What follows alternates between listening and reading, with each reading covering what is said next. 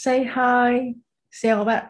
Ngày hôm nay thì chúng ta sẽ cùng nhau comeback trở lại để chia sẻ những kiến thức khái quát và cơ bản liên quan đến sự hồi sinh của nhân vật Mỹ trong cái đêm tình mùa xuân ở Hồng Ngài. Ở cái video ngày hôm trước thì anh có chia sẻ với các bạn để trả lời hai câu hỏi. Câu hỏi đầu tiên là tại sao Mỹ trở thành con dâu gạt nợ cho nhà thẩm lý Bá Cha? Câu hỏi số 2 đó chính là vì điều gì đã biến Mỹ từ một cô gái xinh đẹp khao khát tự do và khao khát hạnh phúc, trở thành một con rùa lầm lũi ở trong xó cửa. Và lúc này thì mị của chúng ta đã hoàn toàn tê liệt về cảm xúc, vô vọng về tương lai. Cô ấy không có tình yêu, không có hạnh phúc và không biết khổ đau là gì nữa luôn. Thế nhưng mà ở trong Tô Hoài, ông ấy có một cái tình yêu thương con người. Ông ấy có một cái niềm tin và cái sự hồi sinh của nhân vật. Và vì thế nhà văn đã có một cái đoạn văn để miêu tả cái sự trỗi dậy miêu tả cái sự hồi sinh của nhân vật Mỹ trong cái chi tiết đêm tình mùa xuân ở Hồng Ngài mà ngày hôm nay chúng ta sẽ cùng nhau tìm hiểu.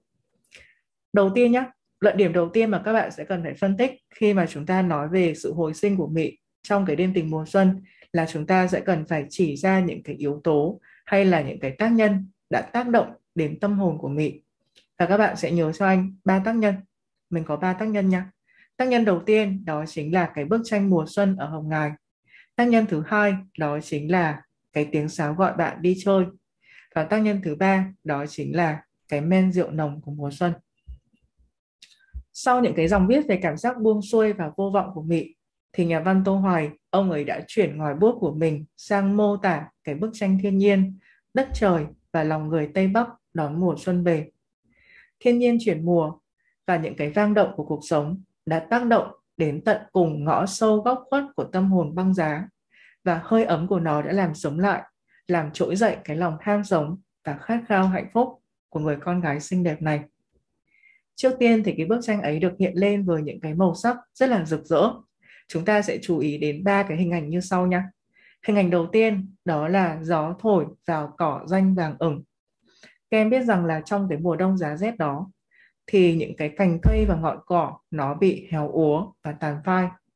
Và nhờ có những cái cơn gió hanh khô của mùa đông đã làm cho những cành cây và ngọn cỏ đó nó khô dần và tạo nên một cái màu vàng ửng lấp lánh khắp không gian.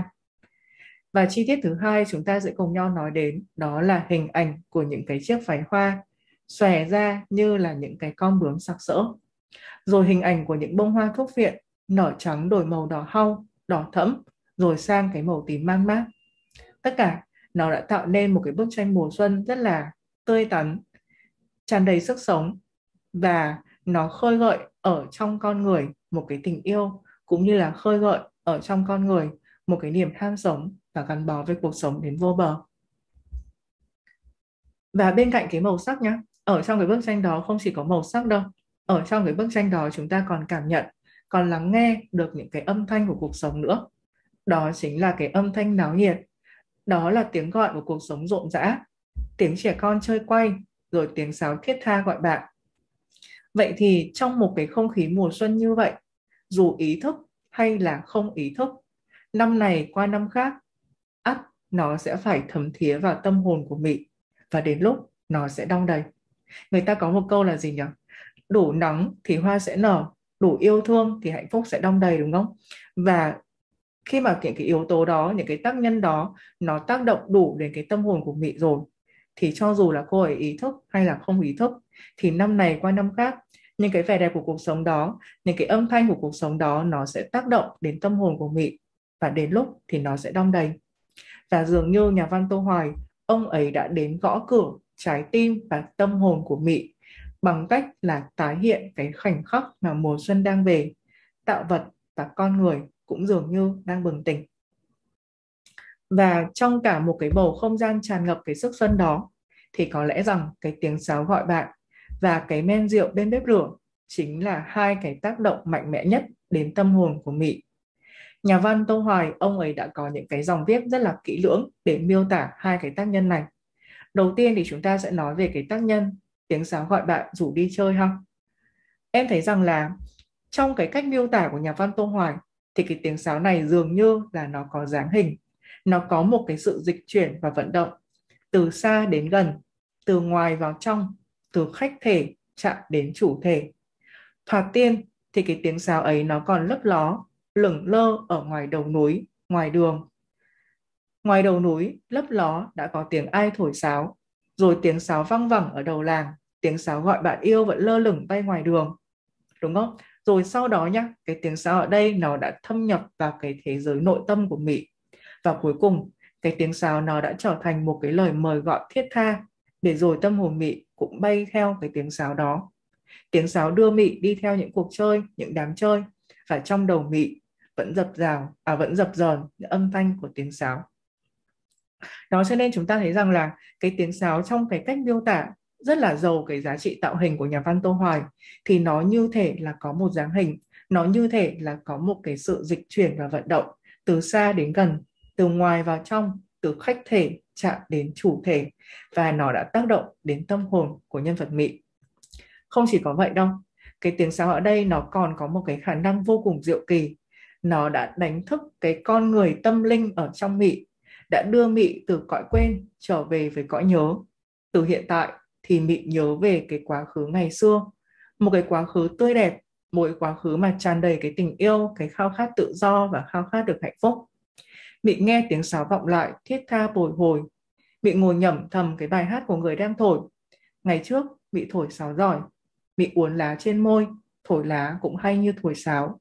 Và có biết bao nhiêu người mê, ngày đêm đã thổi sáo đi theo Mị, hết núi này sang núi khác. Em để ý rằng là đây chính là một cái cách miêu tả diễn biến tâm lý phát triển theo một cái logic biện chứng. Chúng ta còn nhớ đến tác phẩm Chí Phèo của nhà văn Nam Cao. Khi mà Chí Phèo thức tỉnh lương tâm, thì nhà văn Nam Cao, ông ấy cũng miêu tả cái diễn biến tâm lý của nhân vật Chí Phèo cũng phát triển theo cái logic biện chứng như thế. Chí Phèo lúc thức tỉnh, cũng từ cõi quên, trở về về cõi nhớ. Chí Phèo đã nhớ lại cái giấc mơ lương thiện của anh Canh Điền thuở nào, và cái từ giấc mơ lương thiện của quá khứ ấy, thì Chí Phèo càng khao khát cái cuộc sống lương thiện ở trong hiện tại.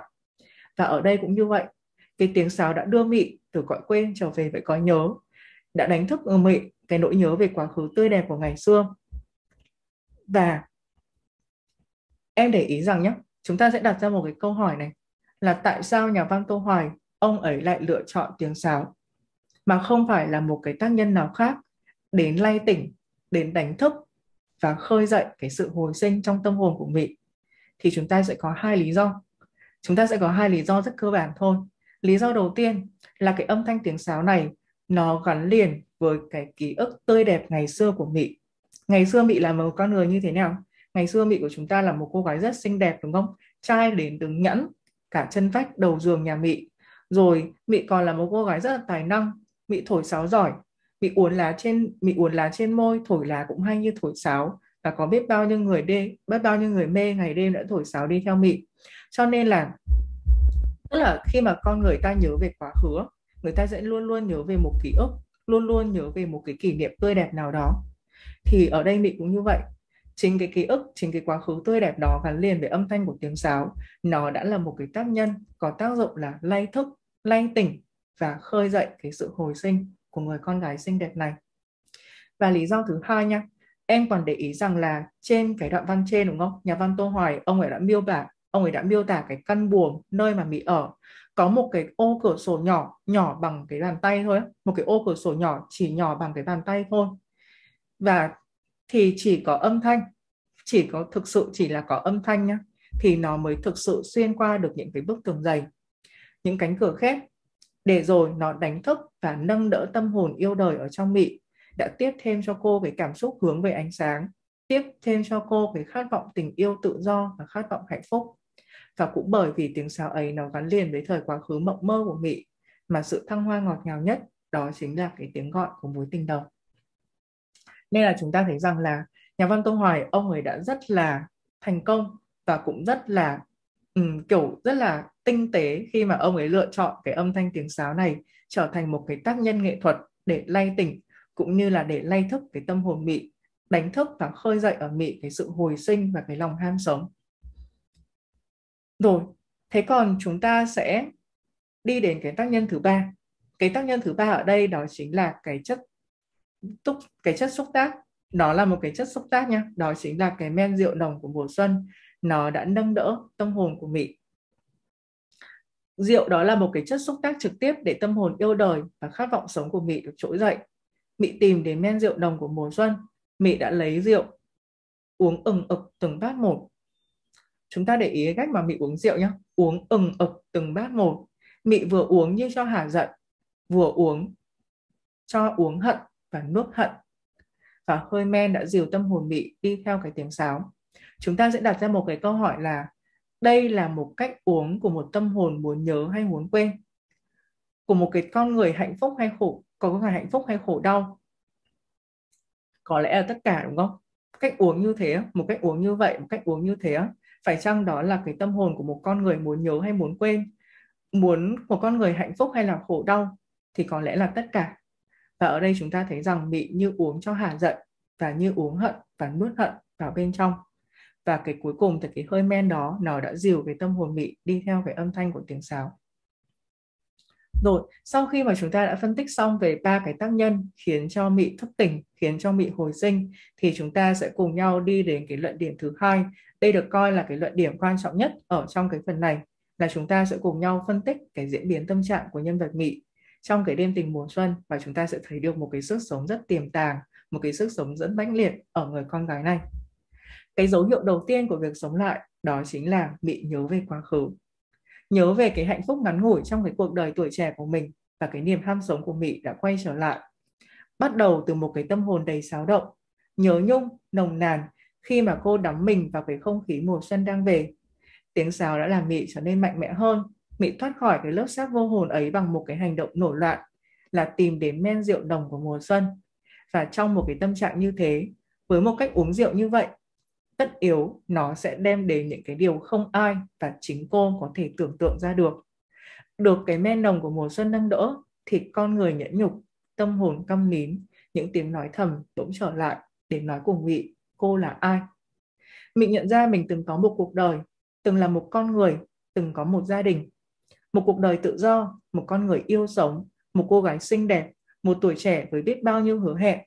Mị nhận thấy tâm hồn mình đã phơi phới trở lại và nhận thấy cái niềm vui sướng đã hồi sinh. Mị nhận ra cái trái tim tuổi trẻ của mình nó đang đập ở trong lồng ngực này này. Mị thấy phơi phới trở lại, trong lòng đột nhiên vui như những đêm Tết ngày trước. Mị trẻ, Mị vẫn còn trẻ, Mị muốn đi chơi. Còn trẻ nghĩa là còn sức sống, còn khao khát sống, còn muốn yêu thương.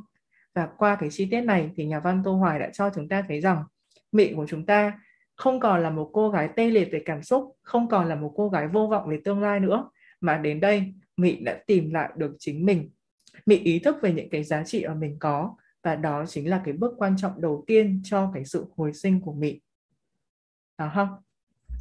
Thì cái diễn biến tâm trạng đầu tiên của Mỹ các bạn sẽ chú ý phân tích cho anh đó chính là dấu hiệu đầu tiên cho cái việc hồi sinh của Mị đó chính là Mị nhớ lại quá khứ. Và trong một cái giây phút rất ngắn ngủi thôi, Mị đã hồi tưởng về cái cuộc đời tuổi trẻ của mình và Mị bắt đầu có một cái niềm ham sống trở lại. Điều đó sẽ được thể hiện qua cái việc là Mị nhận ra cái trái tim tuổi trẻ của mình. Mị thấy phơi phới trở lại, trong lòng đột nhiên vui như những đêm Tết ngày trước. Mị trẻ, Mị vẫn còn trẻ và Mị muốn đi chơi. Thì đây chính là một cái bước quan trọng đầu tiên cho cái sự hồi sinh của Mị đúng không?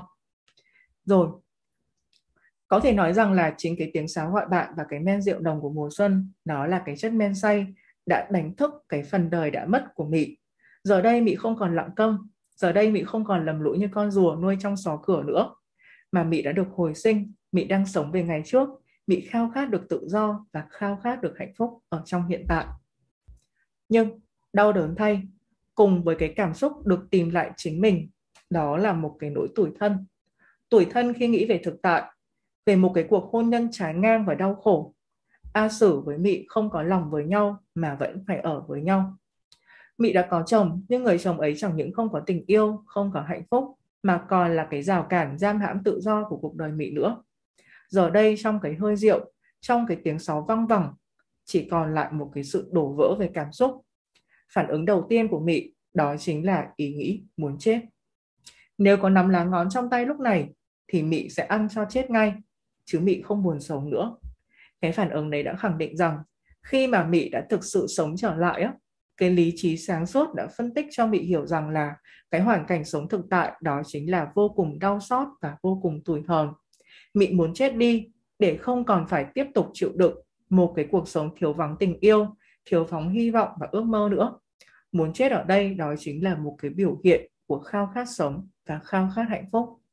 Bởi vì khi Mị đã hồi sinh thì khó có thể nào chấp nhận được cái thực tại cay đắng này. Và cho dù đó là một cái lựa chọn có phần tiêu cực đúng không? Nhưng mà ít nhất đó, em để ý rằng là ngày trước đúng không? Mị đã từng có ý định quyên sinh rồi. Nhưng mà vì thương cha, nếu Mị chết đi thì món nợ nó vẫn còn đó. Và cha Mị vẫn sẽ phải oành mình để trả nợ. Thế nhưng mà sau này khi cha Mị mất đi rồi, Mị vẫn có cơ hội được chết mà. Mị không chết nữa.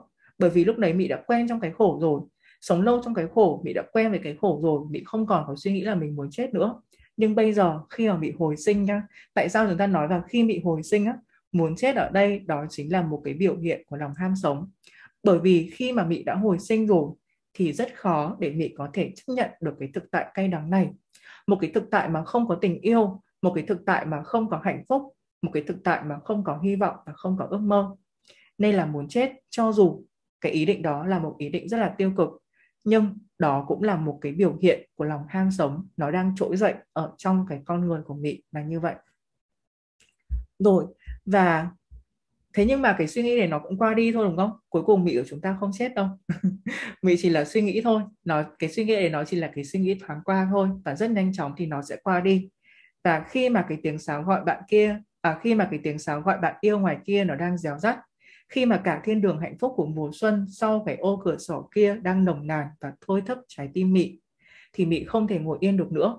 Nó hối thúc mị phải hành động phải thắp sáng cho cuộc đời thắp sáng cho số phận của mình thay vì chấp nhận sống mãi trong cái buồng tối kín mít và chúng ta sẽ để ý đến hành động của mị không mị đến góc nhà lấy cái ống mỡ sắn một miếng bỏ vào đèn cho sáng mị muốn thắp sáng lên cho căn phòng bấy lâu nay chỉ là bóng tối người đọc rất ấn tượng cái cách mà Mỹ thắp sáng đèn, giống như cô đang thắp lên cái ánh sáng cho cuộc đời tăm tối của mình vậy. Và hành động thắp đèn này của Mỹ đã dẫn đến một cái hành động tiếp theo. Đó là cô đã hành động như một con người tự do, hành động như đi theo cái tiếng gọi của lòng mình, bị quấn lấy tóc, bị với tay lấy cái váy hoa vắt ở phía trong vắt để sửa soạn đi chơi Tết. Để đây chúng ta thấy rằng là tất cả những cái công việc phục sức điểm tô của một người con gái thở xuân xanh trước cái giờ hẹn hò giờ đây mỹ đã trải qua tất cả người ta nói rằng người phụ nữ thường chăm chút ngoại hình của mình là khi trong họ đang tồn tại những cái khao khát được yêu khao khát được tự do và khao khát được hạnh phúc và mị của chúng ta ở đây ngay lúc này dường như có một cô gái xinh đẹp đang toàn tâm toàn ý hạnh phúc và đắm say cho cái khoảnh khắc được đi chơi tết được bay vào cái bầu trời tự do, tình yêu và hạnh phúc. Nếu như cái diễn biến tâm trạng của mị trước lúc đi chơi nó quanh co, nó phức tạp bao nhiêu á, thì giờ đây cái hành động chuẩn bị đi chơi Tết của Mỹ lại rõ ràng và dứt khoát bấy nhiêu. Và nhà văn Tô Hoài, ông ấy đã rất là thành công khi viết được một cái đoạn văn với nhịp điệu vừa hối hả, lại vừa trang trọng, vừa chuẩn xác, lại vừa mơ mộng, lâng lâng như thế. Rồi, trong cái lúc mà khao khát được sống được tự do, được hạnh phúc đang trở lại trong con người của Mỹ, thì A Sử đã xuất hiện. Cùng với những cái sợi dây chói, hắn đã chặn đứng và vùi dập không thương tiếc cái khát khao được bùng lên mạnh mẽ ở trong con người của mị A Sử bước lại, nắm Mị, lấy cái thắt lưng chói hai tay Mị lại. Mị muốn đi chơi, A Sử lại chói đứng Mị vào cột nhà. Mị quấn lấy tóc thì A Sử quấn tóc lên cột, làm cho Mị không cúi không nghiêng đầu được nữa. Mị thắp sáng đèn, A Sử tắt đèn đi ra và khép lại cửa buồng. Đúng không? Rõ ràng là tất cả những cái hành động giữa A Sử và Mị nó đang đối lập nhau. Mị muốn đi chơi, A Sử lại trói đứng Mị vào cột nhà. Mị quấn tóc, A Sử quấn tóc lên cột làm cho Mị không cúi không nghiêng đầu được nữa. Mị thắp sáng đèn thì A Sử đã tắt đèn đi ra và khép cửa buồng lại. Thế thì là cái thằng A Sử này nó xuất hiện dường như nó đang chặn đứng và nó đã vùi dập không thương tiếc cái khát khao đang bùng lên mạnh mẽ ở trong con người của Mị. Và có ý kiến thì cho rằng Mị do ý thức độc quyền của mình cho nên là không coi thường và không sợ cái sự xuất hiện của An Sử. Thế nhưng anh lại không nghĩ như vậy. Chúng ta chỉ nghĩ đơn giản là cái khát vọng sống, cái khát vọng tự do và cái ước muốn đi chơi nó mạnh mẽ và mãnh liệt đến cái nỗi mà Mị không ý thức được bất cứ điều gì cho dù đó là bạo lực và cái chết. cái phút đắm say và thăng hoa đã qua đi và thực lại đã trở lại. A Sử trói Mị bằng một cái sự tàn ác đến lạnh lùng của thế giới bạo tàn không có lương chi. Và chi tiết này còn là một tình huống để nhà văn Tô Hoài làm rõ cho chúng ta một điều. Thế lực của bọn thống trị miền núi, cái sự bạo tàn của gia đình nhà thống lý bà cha, cái sự độc ác đến lạnh lùng của A Sử có thể trói được thân xác của mỹ Nhưng không có một cái xiềng xích nào có thể trói buộc được cái khao khát yêu đời và yêu tự do của người con gái xinh đẹp này. Đúng không? Thế nhá, chúng ta thấy một cái chân lý đó là thế lực của bọn thống trị miền núi, cái sự bạo tàn của gia đình thống lý bà cha, cái sự độc ác đến lạnh lùng của A Sử có thể trói được thể xác của Mị. Nhưng tuyệt đối nó không trói được cái khao khát yêu đời và khao khát tự do của người con gái xinh đẹp này. Và không có cường quyền nào có thể hủy diệt được cái sức sống mùa xuân mãnh liệt của người con gái đó. Bằng chứng là Mị quên hẳn về sự xuất hiện của A Sử, quên hẳn việc mình đang bị trói. Tiếng sáo vẫn dìu tâm hồn Mị đi theo những cuộc chơi và đi theo những cái đám chơi. Nhưng rồi cái sợi dây trói ấy nó lại một lần nữa kéo Mị về với thực tại. Lại một lần nữa vô tình và lạnh lùng dập tắt đi cái tiếng sáo vào mùa xuân ở trong Mị.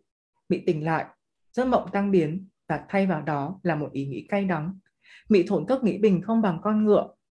Vậy là cái cuộc vùng dậy lần thứ nhất đã thất bại. Cái sự quẫy đạp vươn dậy nó không đủ sức mạnh để làm thay đổi cuộc đời và thay đổi số phận. Có thể nói rằng nhà văn Tô Hoài, ông ấy đã đặt cái sự hồi sinh của Mị vào một cái tình huống bi kịch.